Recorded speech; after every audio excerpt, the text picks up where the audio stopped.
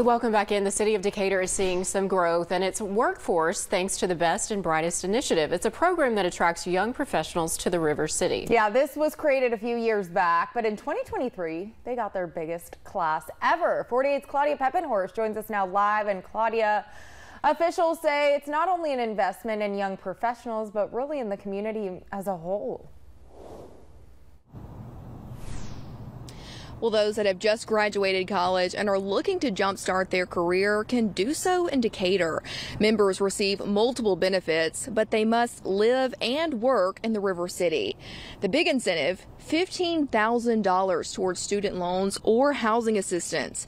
Members are also given a mentor, the opportunity to network with employers, and make friends with other professionals who are the same age. Leaders of the program say in 2023, they saw their biggest class ever. They brought in 24 members in total, all of them working in Decatur, some even starting their own business, like Kate Graham, who started P4 Physical Therapy in Decatur.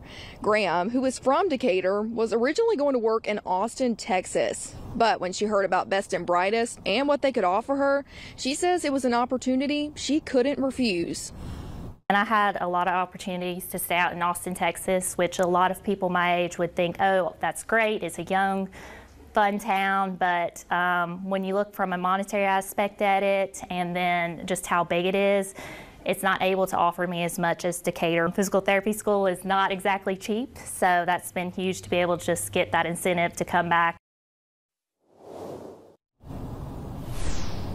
Now, they've already accepted a few new members into their 2024 class, and they are actively accepting applications.